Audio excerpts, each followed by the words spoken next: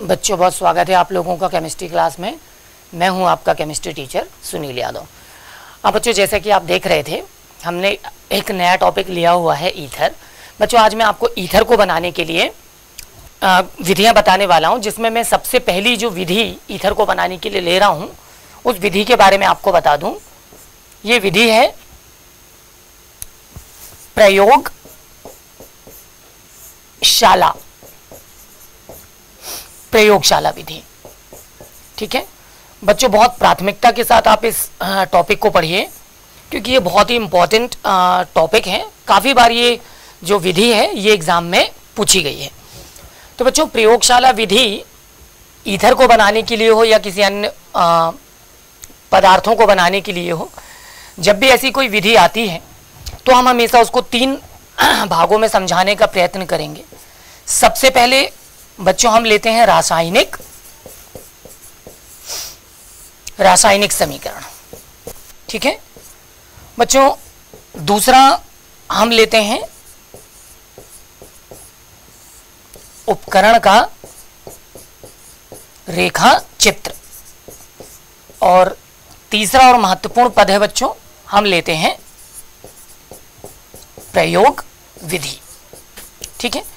तो बच्चों, बहुत अच्छी तरह से आप समझ के रखिए कि जब भी प्रयोगशाला विधि हम यूज़ करेंगे किसी भी पदार्थ को बनाने के लिए, चाहे वो ईथर हो एल्कोहल हो, आने वाले समय के हिसाब से टॉपिक बदलेंगे भी, हम हमेशा उनको इन्हीं तीन भागों में समझाने का प्रयत्न करेंगे, जिसमें हम सबसे पहले लेंगे रासायनिक समीकरण को, फिर हम उपकरण का रेखा चित्र भी दिखाएँगे आपको, और बच्चों, उपकरण के रेखा चित्र के साथ हम आपको यहाँ पर उसकी प्रयोग विधि भी पूरी डिस्क्राइब करेंगे। तो बच्चों, मैं पहला पद आपके सामने ले लेता हूँ, रासायनिक समीकरण। तो जल्दी से हम रासायनिक समीकरण पर बात करेंगे। तो बच्चों, देखिए, रासायनिक समीकरण पहला पॉइंट मैंने लिया है।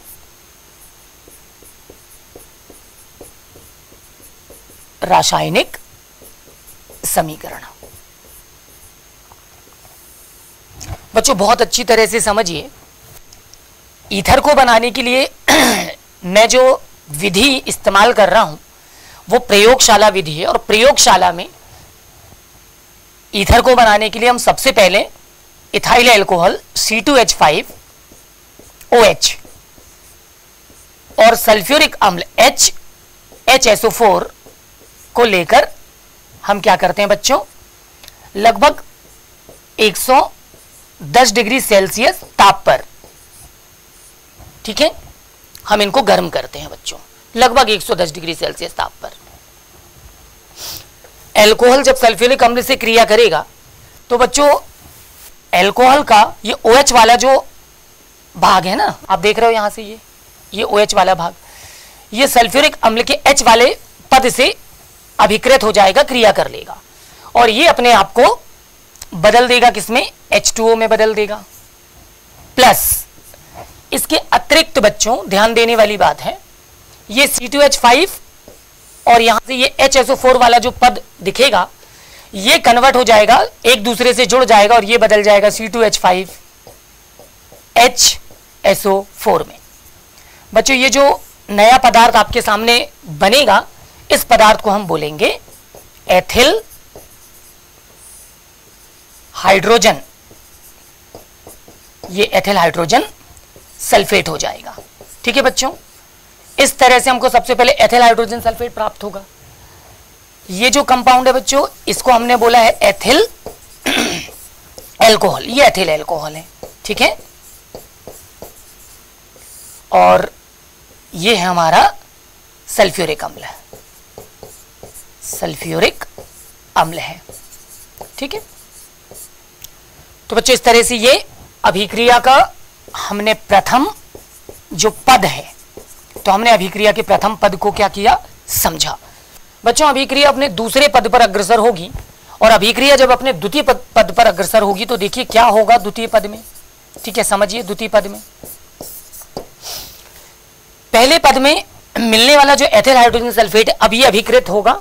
आगे क्रिया में भाग लेगा C2H5 HSO4 और ये एल्कोहल की अतिरिक्त मात्रा के साथ क्रिया करेगा। H O C two H five बच्चों, हम अभिक्रिया के ताप को 110 से बढ़ाकर 140 डिग्री सेल्सियस कर लेंगे, तापमान को बढ़ाकर। ठीक है? इस समय अंतराल पर क्या होगा? ये HSO4 वाला जो भाग है, ये एल्कोहल के H वाले पद से अभिकृत हो जाएगा और हम देखेंगे कि हमको पुनः H2SO4 की जो मात्रा है है ना, मूल मात्रा, वो हमको प्राप्त हो जाएगी। जितना सल्फ्यूरिक हमने इस्तेमाल किया था, उतना सल्फ्यूरिक अम्ल हमको वापस मिल जाएगा। इसके अतिरिक्त बच्चों, ये जो C2H5 वाला पद आप देख रहे हो ना, ये C2H5 OC2H5 से जुड़ जाएगा। और हमको एक पदार्थ यहाँ पर प्राप्त होगा, वो पदार्थ होगा C2H5 OC2H5 इस पदार्थ को बोलने वाले हैं बच्चों हम डाई, एथिल, ईथर। ये जो नया पदार्थ बना, बच्चों इस पदार्थ को हमने क्या बोला? ये बन गया डाइएथिल ईथर। तो बच्चों इस तरह से मैंने आपको सबसे पहले रासायनिक समीकरण मैंने आपको समझाया कि किस तरह से हम पदों को इस्तेमाल करके प्रयोगशाला विधि में हम डाइएथिल ईथर का निर्माण करेंगे। बच्चों ये पूरा पद जिस उपकरण में घटित होगा, अब वो उपकरण का रेखा चित्र आपके सामने रखने जा रहा हूँ तो जल्दी से हम देखेंगे उपकरण का रेखा चित्र दूसरा पद है हमारा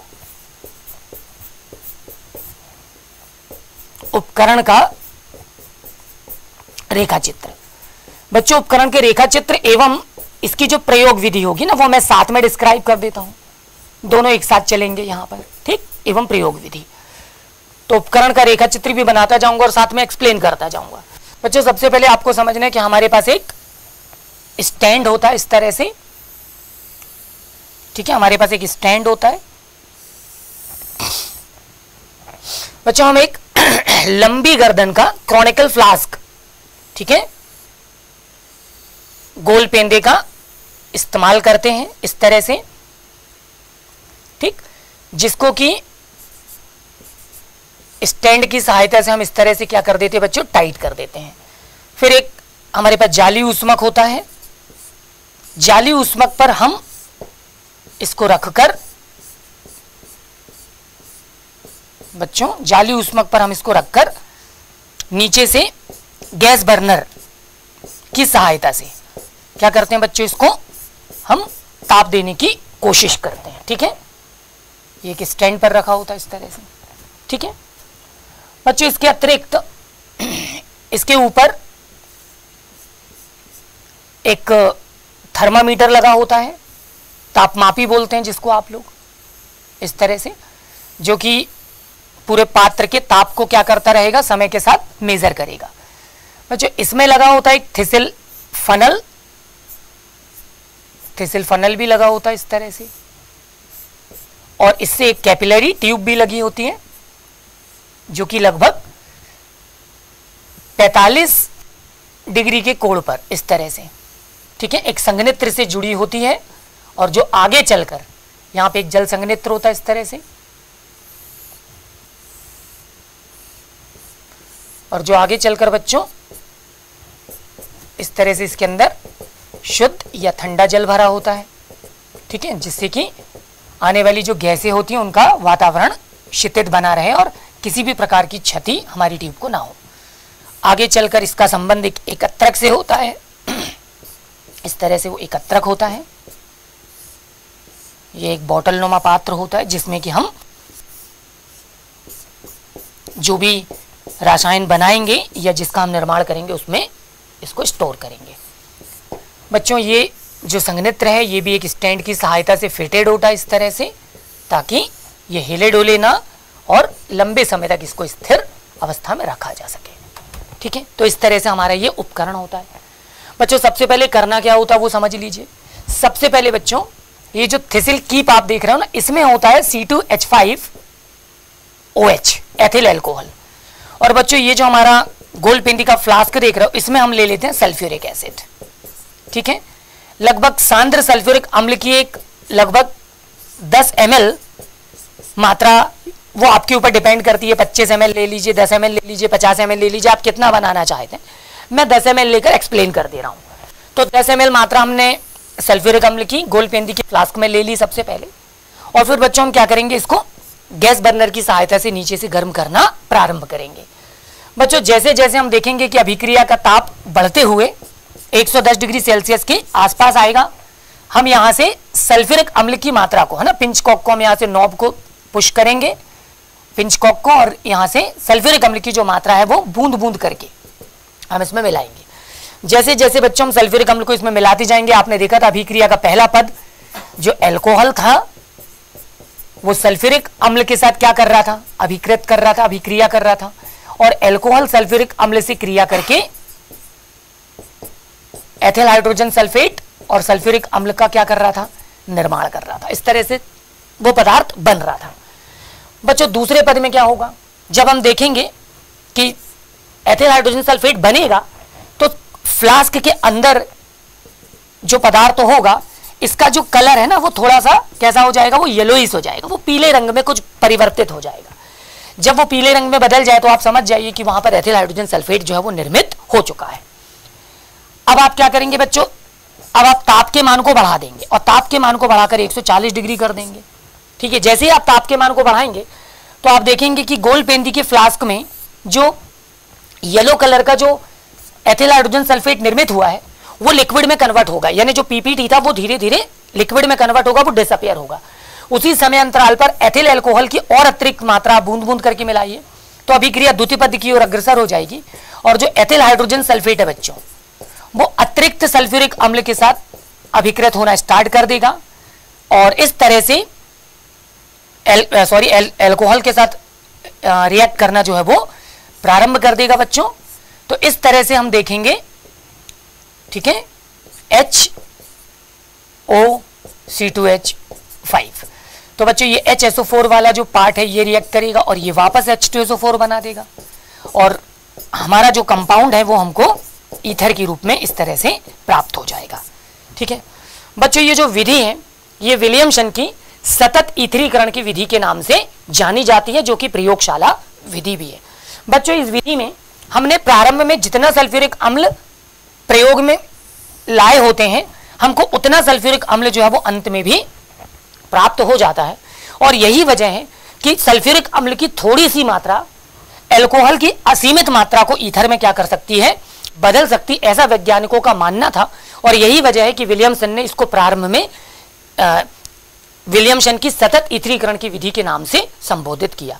पर बच्चों, वास्तव में ये जो विधि है, वो सतत नहीं है। उसके दो कारण इसका सबसे पहला कारण है कि अभिक्रिया के पद में जल निर्मित होता है बच्चों। और ये जो जल है, ये सल्फ्यूरिक अम्ल के साथ मिक्स होगा और उसकी सांद्रता को कम करता जाएगा। तो एक निश्चित समय के बाद जो सल्फ्यूरिक अम्ल है, उसकी रिएक्टिविटी डिक्रीज हो जाएगी बच्चों। दूसरा कारण कि जो अभिक्रिया है, वो उच्च ताप पर होती है। 110 से 140 डिग्री सेल्सियस के बीच में यह अभिक्रिया जो है वो कंडक्ट होगी, संपन्न होगी। तो सल्फ्यूरिक अम्ल की कुछ मात्रा जो है वो सल्फ़र डाइऑक्साइड और जलवाष्प में भी परिवर्तित होगी, जिससे समय के साथ जो सल्फ्यूरिक अम्ल है उसकी मात्रा खत्म होती जाएगी, कम होती जाएगी। तो बच्चों, सबसे ये दो कारण भी मिलेंगे, जबकि ये विधि सतत नहीं होगी। बच्चों, आज हमने एक बहुत ही महत्वपूर्ण टॉपिक इस टॉपिक चैप्टर के लिए कंप्लीट किया है। बहुत जल्दी आपसे अगली वीडियो के साथ मुलाकात होगी। तब तक के लिए अपना ख्याल रखें।